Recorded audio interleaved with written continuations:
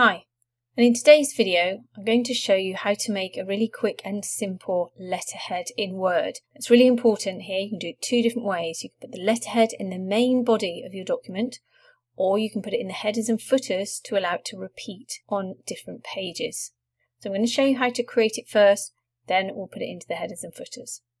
So the first thing I want to do is go to Insert, Shapes, click on the drop down I'm going to select this shape here, but you can find that shape a little bit further down and right here. Then just click and drag out the shape. Move it all the way across, and then we're just going to move it to the top. Now with shapes, you've got a fill colour and an outline colour. So we're going to change both of those. So I'm going to select it, go to shape format, click on this icon here and select no outline, and then for the shape fill, I'm going to use a gradient. So to get to gradients, go to shape format and go over to format pane. Here you'll have another dialog box and we'll go over to this bucket, go down to fill, and then go down to gradient fill. Now I've already practiced this video, so my colours are already here. What you've got here is you've got a gradient slider here and you've got these two markers. If I click on them, it has an orange outline. That means it's selected. So select it, go to colour, click on the drop down, and you can select from any colour. If not, go down to more colours, and here you've got the colour wheel. You can move this cursor anywhere in the colour wheel. The colour you've chosen will appear in this box here, and then you can move the sliders left and right to darken or lighten that colour. So I chose a pink colour, pinky purple colour is around about here, and then just click OK. So that was for that colour and this purple colour came from the colour dialog box on the far right of this. You can't see it because my page hasn't extended, but it's on the far right at the end of those colours. Now you've also got the type of gradient. So we've got linear, which you need to click on, and you've also got the direction. I've chosen the direction top to bottom, which is this one here, but you can select any one you want. So once you're happy with your gradient, then we can go ahead and add a shadow. So click on Effects, go to Shadow, click on the drop down and go to Presets and just click on this icon here. You can use any of these shadows. So I'll click on this one here and you can just see there's a shadow that runs along the bottom. But you can change if you want to. If I move these sliders, you can see exactly what it does. You can blur it a bit more if you want to change the angle and the distance away from the shape. It's completely up to you. So I'm going to leave it there and now I'm going to duplicate it. So select it, hold down the Alt or Option key, click and drag, and then we've created another one of those shapes. So as you can see, one will go on top of the other and we can move them around using this icon here, which is a circular arrow, and we can rotate them any way we like. So this is all very much a personal preference. So I'm going to move this one over to the left here. And I'm going to move it up. And then this one, I'm actually going to flip it around. So select it, go to Shape Format, go to Rotate, click on the drop down and select Flip Horizontally. And then I can move that one up and I'm going to send this one to the back because this one's currently at the front. So select it, go to Shape Format, go to Send Backwards, click on the drop down and select Send to Back. And then I'm just going to rotate this one slightly. And then this one I'm going to select, pull it down so that we can grab that arrow and then rotate that one slightly and make it just fit across the page.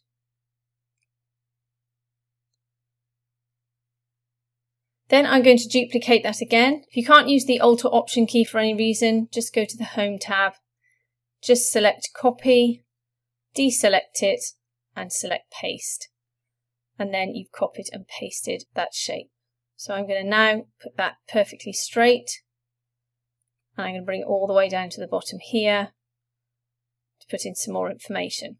Now, something I've just forgotten to do, which I need to do now. If you click on your document, you'll see your cursor where you start to write is all the way up here. And if you start to type, it's going to go behind these shapes. So we want to bring the margin down so you type down here, but it will move these shapes. So what we need to do is group all of these assets. So just select them all, hold down the Command or Control key, select each one of them, You can see they're all selected because they've got these little squares around them. Go to shape format, go to group, click on the drop down and select group. Go over to the rulers. If you don't have the rulers, go to view and check ruler. Go over to the side here, hover between the grey and the white section. You'll see your cursor changes. Click and drag down. And then just pull this back up to where you want it to be. It's around about here. And now when you click, you can see your cursors here. You want, might want it a bit further up, that's fine. Just click and drag that up and you just keep manipulating this until you're happy with the look. So I'm happy with my cursor there. I'm just going to now ungroup all of these graphics. So select it, go to shape format, click on the drop down group and select ungroup. Perfect. Now our cursor's here. So when you begin to type, it will be in the perfect place. Now let's insert our logo. Go to insert, picture, click on the drop down, select picture from file, select your logo and click insert. Once you've inserted it, you won't be able to move it. So select it, go to picture format, go to wrap text, click on the drop down and select in front of text. And now you can move it and resize it and it will also go over the top of all of your graphics. Now we want some information at the bottom here. We're just going to put telephone number, email and website. So go to insert, text box, click on the drop down and select draw text box. Click and drag out the text box around about that size. Perfect. Let's just put a telephone number in. Now I'm going to move this until I cannot move it anymore before this text disappears. And that will become clear in a second. I'm going to copy and paste this. So hold down my Alt key, click and drag. Oh no, actually before that, you can see we've got this outline, but also we've got a white background. So I'm going to take both of those out. So select it, go to shape format, go to outline and select no outline. Go to shape fill and select no fill. Now we can hold the Alt or Option key down. Whoops. If it all goes wrong, just hit the redo key, which is Command or Control Z. Press the Alt or Option key, your cursor will change, click and drag, deselect, reselect it, do it one more time. Perfect. So in this one, I'm just going to put email. Okay, we're going to have to stretch that one out. And again, move it until the last letter disappears. Then stretch it back out. And again, website. There we go. Perfect. So I'm just going to center all of these. So click on it, go to home, click center, send text. Perfect. Now I'm going to put them roughly where I want them. I'm going to line them up at the bottom here. The reason I'm not putting them over the top just yet is because often you end up clicking on the background and it's really frustrating. So I'm doing all this up here now, just so it's very obvious which element I want to select. So roughly where you want them, but don't have to be too accurate. The reason I have made sure that they are perfectly lined up, they're copied, is because we're going to align them now. So if you select them all, hold down the Alt or Option key, select them all, go to Shape Format, and go to this Align tool here. Click on the drop down, and we're going to firstly distribute them equally horizontally. So click on that one, and this will make sure that there is an equal space here and an equal space here. Now, if I had pulled one of these out further, the distance between the text within the box wouldn't be the same. So you'd have a greater gap between these because you'd stretched out that box to create more space inside. So once you've done that, go back up to align, and now we're going to align to the middle, which means that all these center boxes are perfectly lined up, which is really important to copy and paste them. If you reinsert an additional box, you'll have to go up to the dimensions here and make sure they're all exactly the same, otherwise they won't all line up to the center. Once you've done that, go to Shape Format, go to Group, click on the drop down and select Group. Now they're all one element, we can move them down to wherever we want to. I'm just going to change those to white, so select them, go to the Home tab, and go to the text color icon or font color and select white. And then I'm going to make sure that this box here is perfectly centered. So select it, go to shape format, align, align to center. And now all of that's perfectly lined up. So deselect it, check that you're happy.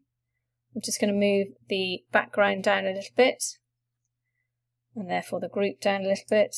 So once you're happy with that, we can group it all together.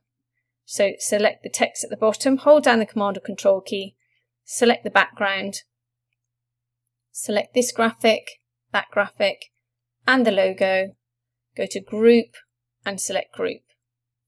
Now all of this is one element and it can be moved, copied and pasted. So if you wanted to continue just to write your letter as it is now, you can go ahead and do that. But what you will have to remember is every time you hit the return key, the whole thing is going to move with it. So there's two ways you can solve this. The first one is to write your whole letter in a text box. So insert text box, draw text box, and then you can write the whole of your letter in here. Deselect it, take the lines out, and the background and there you have your letter. You can move it anywhere you like. You can change the margins really easily and you can have the perfect letter. And that's fine. You can go ahead and save that as a template if you want to. But realistically, if you want this on a second page, so let's say, for example, insert, let's just deselect that, page break, this is what's going to happen. So you have to move all of that text over to here. So go to home, copy, go onto this page and paste, and then you can move it all the way up. So you can do that if you want to. It's a bit of a sticky way to do things, but it's possible. So let's just delete that, move this across. In fact, let's just delete that, and let's just delete this page as well. There we go. So the best thing to do is to put it into the headers and footers. So I'm going to put it in the headers and footers, and there's one distinct thing that people moan about when anything is put into the headers and footers, and that is that it's greyed out. So I've selected everything again by holding down the Alt or Option key. Go to Group, and again, we'll ungroup it, and then we'll regroup it so it's all one. And select it all. There we go. Go to the Home tab, select Copy, and then I'm going to press the Delete key. You might think, oh gosh, it's gone, but it's copied to the clipboard, so don't panic. And then just double click at the bottom of your page and you'll see you're in the headers and footers. Go up to the Home tab and click Paste. And somewhere your text will appear or your graphics will appear. And we'll just move them to where they were originally. And of course you can go ahead, move these around if you want to. Okay, so now they're in your headers and footers, we'll click back into our main document by clicking in the middle here, double click in the middle. Can see immediately it's greyed out. Now this will continue to be greyed out if you send this as a Word document, but if you intend to print this or save it as a PDF file, it will be perfect and all the colours will be enriched and they will glow just as they did before. They won't be greyed out. But again, this is a choice thing. So again, if we hit insert break, now you can see that it's copied it straight over to the next page. So even if you do 10 pages of document, this is how it will be copied over. Again, very much a personal choice. So let's just say you've written your letter.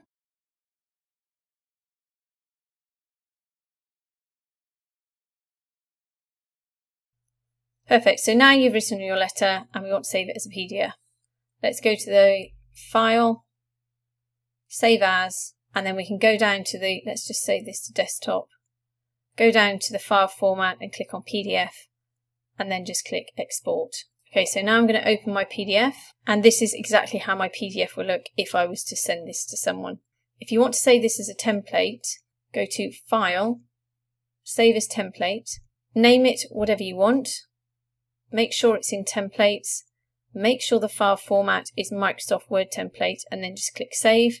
What this will do is when you open Word, let's just go the Home tab. At the top here, you've got templates.